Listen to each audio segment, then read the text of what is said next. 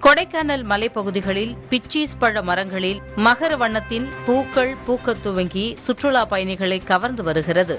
திண்டுக்கல் மாவட்டம் கொடைக்கானல் மலைப்பகுதிகளில் கோடை காலத்தில் காய்க்கும் தன்மை கொண்ட பிச்சீஸ் பழங்களின் பூக்கள் தற்பொழுது பூத்து குலுங்க துவங்கியுள்ளது.